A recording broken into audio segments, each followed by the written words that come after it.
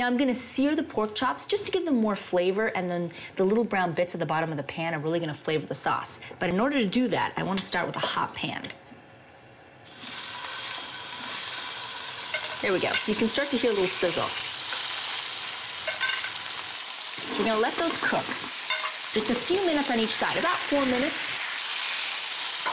And then we're gonna finish cooking in the sauce. And that sauce is what's gonna keep the pork chops really tender. And I'm just gonna start with my shallots and my fennel, which is sort of the base of this sauce.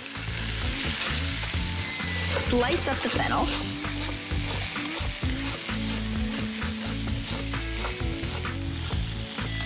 Cut up the fronds as well. Just chop them up, and very similar to an herb. Now, time to take the pork chops off.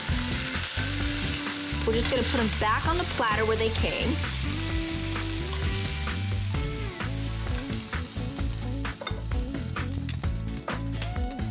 I'm gonna add a little bit more olive oil.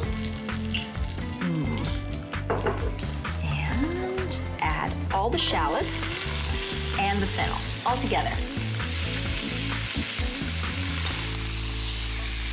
I'm gonna lower the heat just a little bit to about medium and add a little bit of salt. And the salt will bring out the natural juices, the natural sort of liquid in the fennel and the shallots. All right, we're gonna let that cook for another minute. And I'm gonna add some parsley. It's time for a nice kick of flavor from the white wine.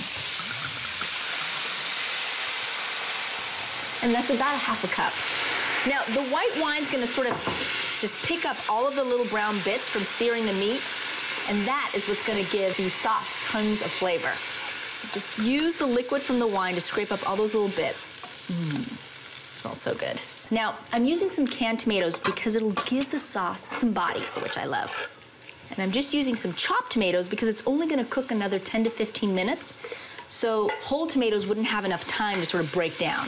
This will just make the cooking process a lot quicker. We're gonna add the pork chops back into the sauce.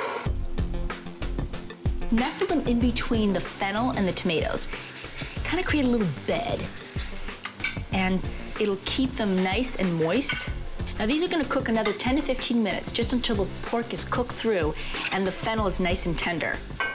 Now all I have to do is finish the sauce. Now it's a rustic trattoria recipe, so you can just add the rest of the ingredients right on top. A couple tablespoons of capers, then lemon zest. And I know this might sound a little strange, like why would I be adding lemon zest on top of the pork chops?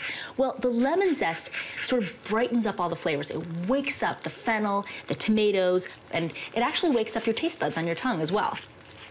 Just zest half a lemon right on top. You can smell it, that fresh, clean flavor.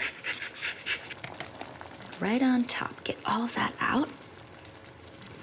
And more parsley. Just give it a quick little mix. Oh, smells good. Perfect amount of sauce. Okay, now, ready to serve it.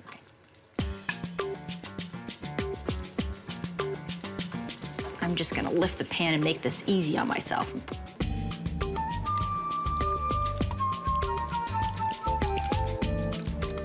Does that not look great?